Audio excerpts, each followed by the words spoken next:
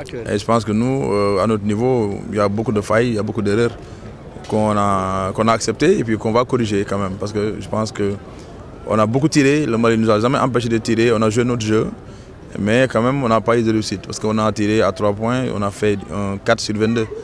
Alors je pense que, et 61 fois on a tiré. Le Mali n'a pas fait ça. Et je pense qu'ils nous ont dominé quand même dans la raquette. Je pense qu'ils ont mis euh, beaucoup de paniers dans la raquette, tous leurs paniers presque. Ils n'ont marqué qu'un seul panier, c'est un panier à 3 points. Et c'est en dehors de la raquette, c'est les 3 points qu'ils ont mis. Ils ont fait 1 sur 16.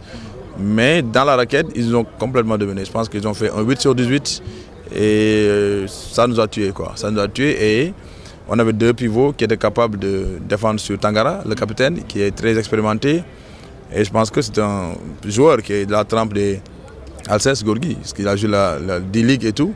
C'est un très bon joueur. Maintenant, il fallait le contrer. Malheureusement, on a eu 5 fautes, deux joueurs qui ont eu 5 fautes. Il ne restait qu'un joueur inexpérimenté, Adama, qui qui n'était pas à la hauteur. Quoi. Voilà. Donc c'est ça qui nous a, nous a complètement euh, tués. Mais euh, au premier quart-temps, on a dominé le Mali.